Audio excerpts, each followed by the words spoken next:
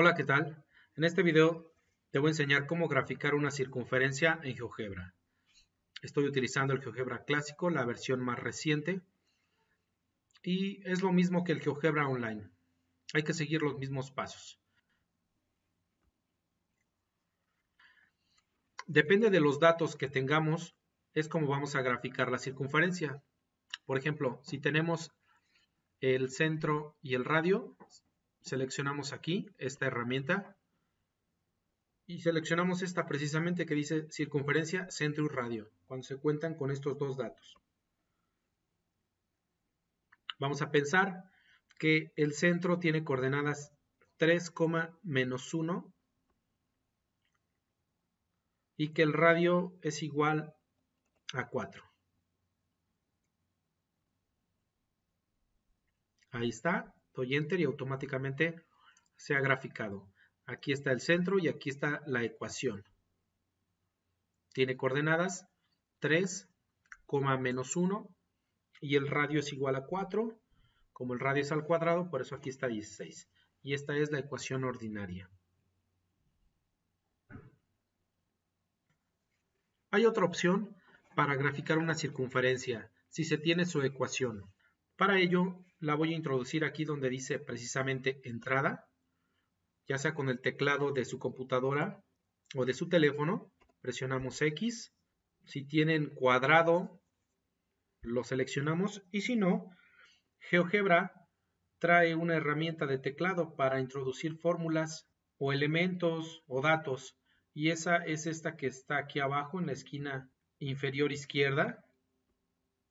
Damos clic y se abre precisamente la opción del teclado. Entonces mi ecuación va a ser x cuadrada, selecciono este que nos da el exponente al cuadrado, más eh, y cuadrada, puedo alternar entre el teclado y el teclado de la computadora, igual a, y la ecuación que yo tengo es igual a 4.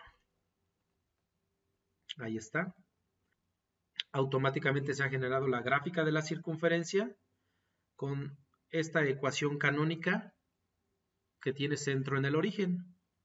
Aquí está su centro, el 0,0, y el radio es igual a 2, que en la ecuación, como el radio está elevado al cuadrado, por eso es 2 por 2, 4. Si se cuenta, por ejemplo, con la ecuación ordinaria de la circunferencia y se quiere graficar, entonces también es aquí en entrada. Y podemos utilizar el teclado, ya sea el teclado de la computadora, del, celular del móvil, lo que sea más cómodo.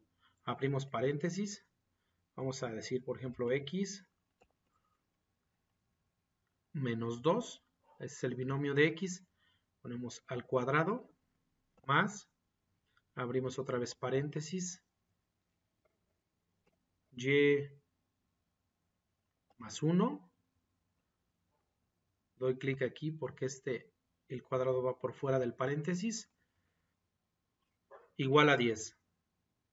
Y aquí está la circunferencia. Podemos también introducir la fórmula general de la circunferencia y también se puede graficar en cualquiera de las formas. Si se desea saber cuál es la ecuación general de esta circunferencia, es decir, convertir esta ecuación ordinaria a general, lo que hacemos aquí en GeoGebra es dar clic aquí, vamos a configuración, aquí seleccionamos esta opción de álgebra, aquí ecuación de entrada, seleccionamos esta que está en la forma general, le damos clic y automáticamente aquí nos aparece ambas, la ordinaria y la general. Entonces también es otra de las características que tiene GeoGebra. Además, por ejemplo, si tenemos un dato donde se cuente con el centro y un punto de la circunferencia, podemos usar esta opción que es circunferencia, centro y punto selecciono el centro de la circunferencia y un punto cualquiera. Noten cómo se empieza a abrir. selecciono aquí el punto B y automáticamente se genera la ecuación de la circunferencia. Si quiero saber cuál es la longitud del radio, selecciono aquí la opción segmento y voy a unir el centro, doy clic ahí, hacia el punto. Aquí está la longitud de lo que sería el radio, el segmento AB, y aquí está la ecuación ordinaria de esa circunferencia.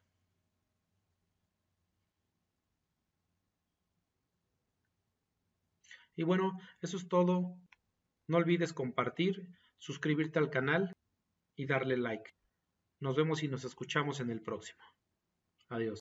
Y gracias.